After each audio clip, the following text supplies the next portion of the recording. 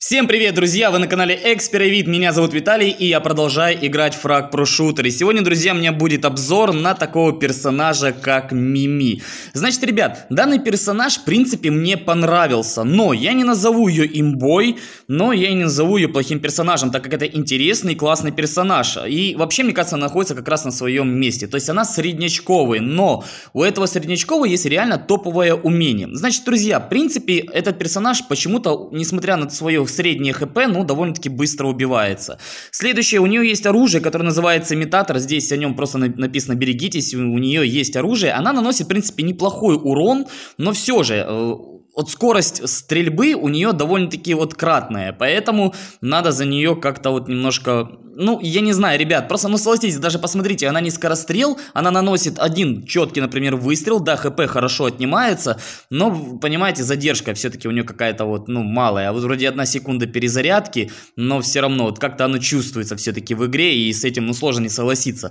Значит, ребят, у нее есть топовое умение, такое, как настоящая фальшивая стена. Она размещает огромную стену, которую не могут преодолеть ваши враги, но они могут в нее стрелять, чтобы уничтожить. И в этой стене, ребят, самое, просто самое вкусное, что есть в этом персонаже, так как за нее, ребят, можно ну просто нереально тащить именно команду, э, защищая свою базу. Значит, друзья, смотрите, э, каким образом можно тащить. Есть много методов. Кстати, я заметил очень часто, многие ребята, которые даже играют за нее, они делают огромную ошибку в расстановке стены. Сегодня, ребят, я вам покажу, как лучше ставить стену. И расскажу за один метод, который вряд ли у меня, наверное, сегодня получится, но я вам все-таки объясню, как лучше это сделать. Но для этого, ребят, надо здесь э, стрелок. Но сегодня я стрелка, ребят, брать не буду. Вот такой пачкой буду сегодня играть. Значит, ребят, э, в силу того, что вроде он мини, она все-таки защитник, но я взял еще одного защитника на всякий случай для подстраховки, так как я не буду сегодня играть в одного героя, потому что, ребят, я как только появлюсь, я сразу дам команду своим ребятам атаковать, после чего я правильно выставлю стену и обязательно буду переключаться на атакующего. Не играйте за данного персонажа в одного героя. Да, вы можете постоять на защите, если вы все-таки надеетесь, ну или реально, как бы, не знаю, я даже не знаю, как можно надеяться на то, что ваши атакующие все-таки завалят. Просто это насколько должен быть хреновый соперник для того, чтобы вы реально быстро раскидали.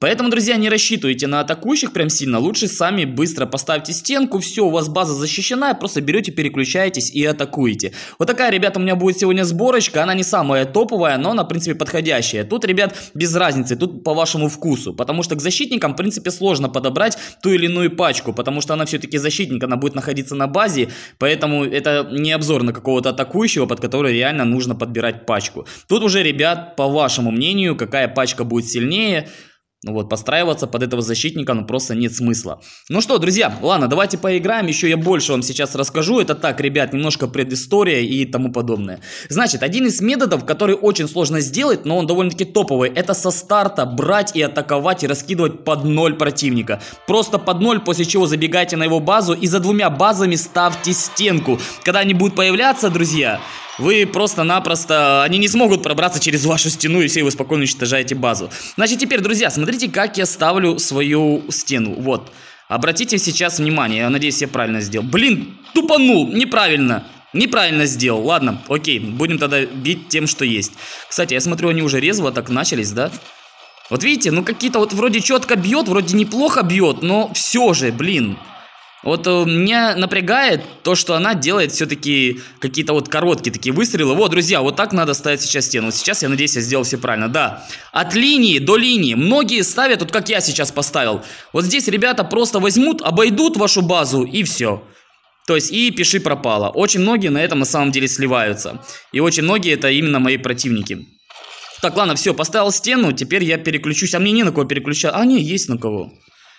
Я думал, мои уже все повыздыхали, а они нифига, ничего. Живы, здоровы, все хорошо. Кстати, а где мои ресурсы? О, я вижу, где мои ресурсы падают. Давайте, наверное, до ресурсов своих переключусь немножко.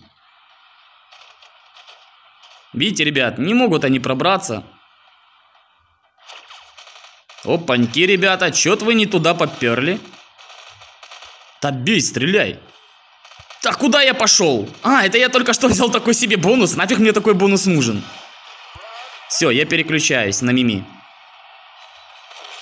Ну, блин, она раньше меня сделала то, что не надо было делать. То есть, понимаете, забота, когда она играет, она где видит опасность, там она и делает эту, ну, вот, вот такую вот хрень. В принципе, с одной стороны, это правильно. Она перегородила отсюда до самой линии. Но мне не хочется, чтобы было так. Мне хочется, чтобы со всех сторон себя обезопасить. И в этом получается самый синус. Все, и теперь я просто спокойно могу взять. Блин, я закрыл, короче, я не обратил внимания, что там, короче, мистер невидимка. Ну, поэтому, в принципе, я и беру с собой еще одного защитника на всякий случай. И это у меня была именно бот-мама. Так, а вы, ребят, добьете ее? Нет? Чьего?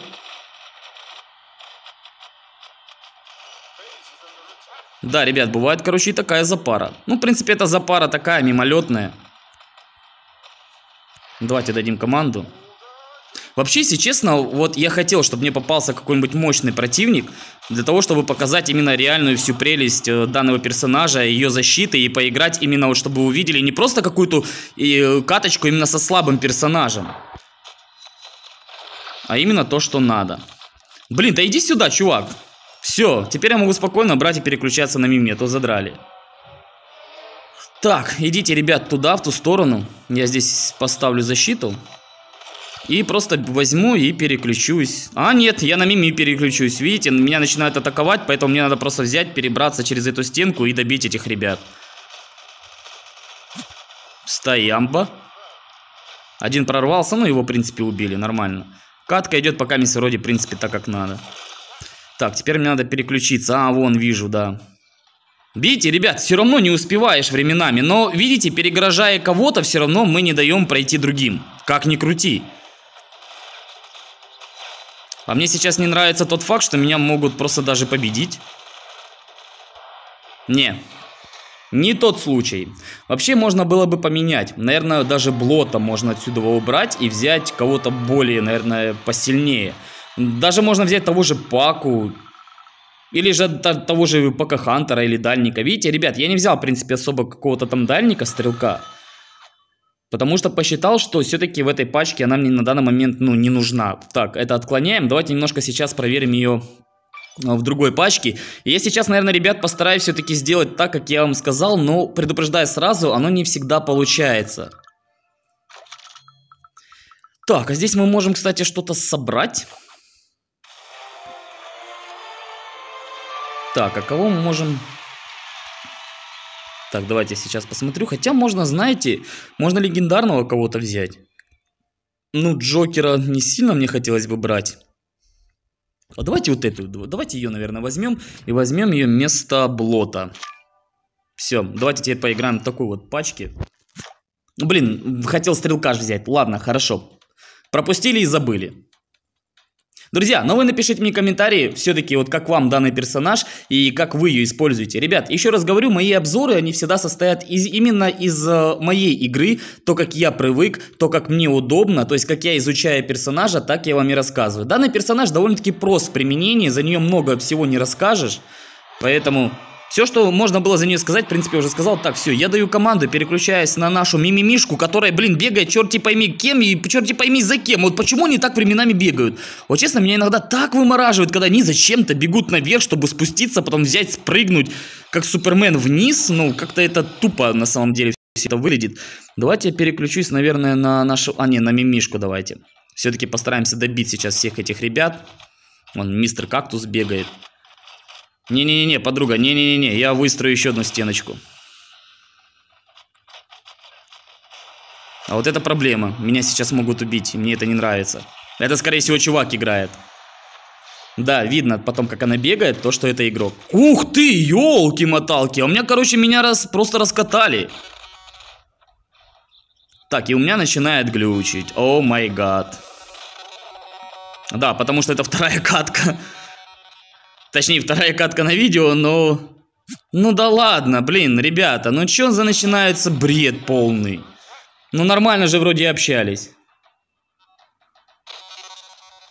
Короче, друзья, в силу того, что меня глючило, меня нереально начало раскидывать, сейчас вроде все разглючило, и я могу дальше продолжать играть, но я стал в тотальнейшую защиту, просто в тотальнейшую. Я просто-напросто теперь рассчитываю на то, что мои ребята просто хотя бы хоть как-то затащат. Но мне почему-то кажется, что теперь мне сложно будет что-то вывести, потому что когда меня лагало, я не мог ничем управлять, ну и поэтому просто сливаюсь. Но все равно, в принципе, то, что я хотел сказать за данного персонажа, я сказал. А, поэтому, ребят, я думаю, что вы такого же будете мнения данного персонажа, так как все мы, если кто играет в эту игру давно, в принципе, понимают специфику данной игры и что нужно здесь сделать. Но сейчас, по-любому, это будет поражение, я к нему уже, в принципе, даже готов.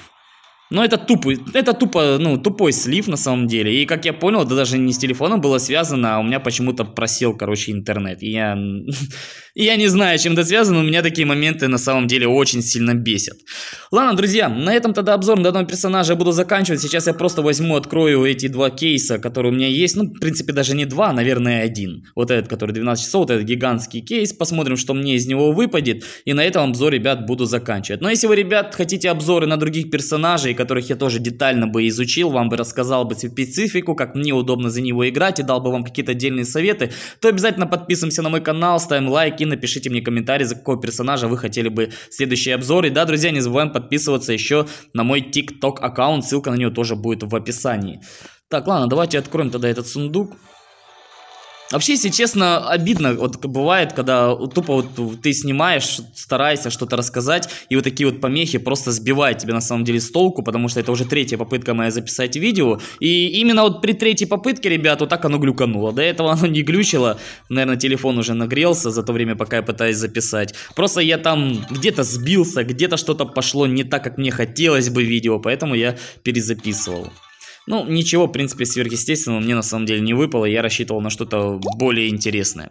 Ладно, друзья, вы были на канале Эксперовид, всем спасибо и всем пока.